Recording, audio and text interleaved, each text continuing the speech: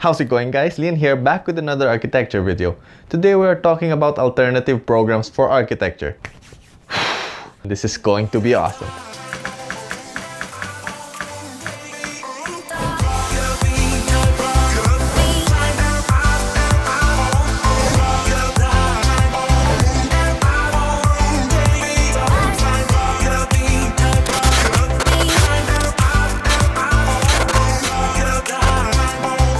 Okay, so in this video we are going to tackle the various programs that I never knew I needed until I actually needed them, if that makes any sense. So there are a ton of videos online about architectural programs and most of them are pretty obvious like AutoCAD, Revit, SketchUp, V-Ray, and ArchiCAD, and all those other stuff. Now all of those softwares are archetypes of the popular genres of architectural softwares. Those genres being BIM softwares, 3D modeling softwares, 2D or drafting softwares, rendering softwares, and post-production softwares.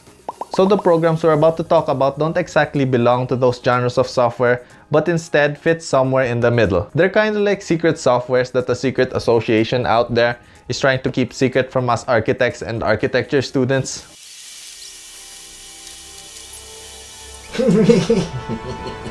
With these plans, they'll never discover these secret softwares. boss, someone told them our secrets. What? No! First program is a PDF editor. So as an architect, I always find myself handling PDFs on a daily basis. Yeah, you do. What? Uh, nothing.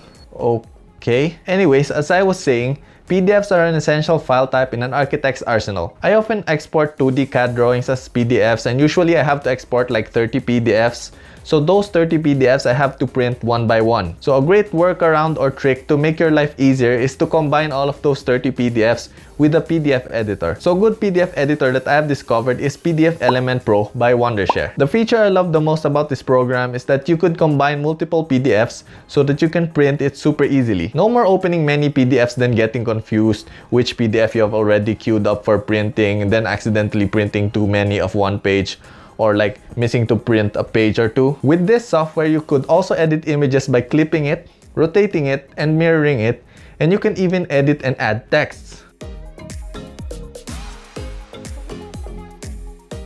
This is very useful for students who are doing research because you can import scanned PDFs and edit or copy paste the text. So usually when you scan a book into a PDF, you really can't copy the text because that PDF is basically like a flat bitmap image but with this program, it has optical character recognition or OCR, which basically means that PDFelement Pro will detect text characters and convert them into a copy-pastable text file that you could copy from the scanned PDF into your Word file. It's always a bummer when you find a reference material for your thesis or your research work that is a PDF file but you couldn't copy the text directly. So you resort to either manually typing what is written on the PDF word per word or just inserting the PDF into your thesis manuscript like a like a freaking barbarian. Anyway, PDFelement Pro also allows you to convert your PDF files into many file types. My favorite file types being PowerPoint and EPUB files so you can read it with your EPUB reader. So if it's not yet obvious, today's video is sponsored by PDFelement Pro. Check the links in the description for free trial and free download links for Android and iOS. You could also buy the Pro version with a 40% discount if you click on the link below. One difference between the Pro version and the free version is that the Pro version has optical character recognition and the free trial does not. The next program that we are going to discuss is a desktop publishing or page layout software. Basically, this is a software that you can use when creating your presentation boards or when you will create your portfolio. This software is also useful for creating posters, magazines, and creative thesis manuscripts. A good example of a publishing software is Adobe InDesign. But Llyan, I can do my layouts in Photoshop. Yeah, you could, but Adobe InDesign makes your workflow so much easier and faster compared to when you're using Photoshop. Because in InDesign, you could create templates which basically allows all the pages of your layouts to stay consistent. With this, you could create books or magazines with automatic page numberings. One feature I love about InDesign is that you have a master page so if you want to change the layout of all your pages, instead of changing each page's layout like you would if you used Photoshop, you could just edit the master page and all other pages linked to the master page will change accordingly. Software number 3. Project Management Software. So project management software is pretty self-explanatory. It helps you manage your projects. So if you're a big time architect like me, You're not a big time architect. nope, I'm not, but let's just say I am. Okay. So if you're a big time architect and you have lots of projects, this software is essential. A good example of a project management software is Primavera. With Primavera, you could balance resource capacity, plan schedule, and control complex projects and all those things that's written on their website. Actually, I just I just memorized all of those things from their website. okay, so me personally, I don't use these softwares because I don't have that much projects.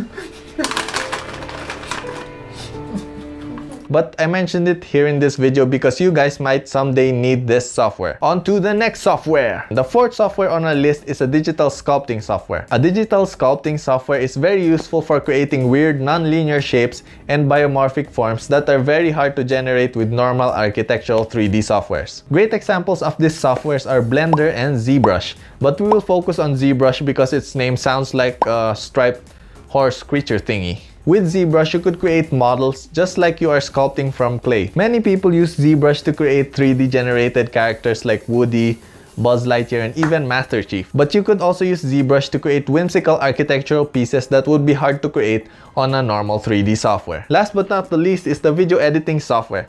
You might be wondering why would architects need to know about video editing softwares? In our day and age, visual media is a very prominent part of our culture. You're actually consuming visual media right now by watching this YouTube video. So in architecture, we are all about them visuals. That did not make sense. Anywho, in order to up your presentation game, you guys need to be able to create great videos and to do so, you need good video editing software. The softwares that I use are Adobe Premiere Pro and Adobe After Effects but I mostly use Premiere Pro. So the difference between these two softwares is that Premiere Pro is used more for simple editing tasks like cutting and arranging the clips, then adding music, sound, and all those other stuff with the video. Also, Premiere Pro's timeline is better than After Effects. For trimming and moving video clips, it's a little bit easier when you're using Premiere Pro. On the other hand, After Effects is used to add special effects like adding floaty texts into your video like this, or making explosions and gunshots, you know, all those cool stuff. So these softwares are useful when you are presenting to a client or a jury and you need to show them a walkthrough or a fly-through of the project, or if you want to create a visually stunning video portfolio of your existing projects.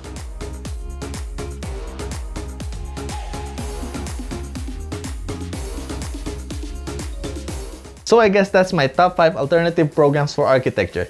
If you guys think I missed any secret software that are very useful in the architecture field, leave it in the comments below. And as always, don't forget to like and subscribe.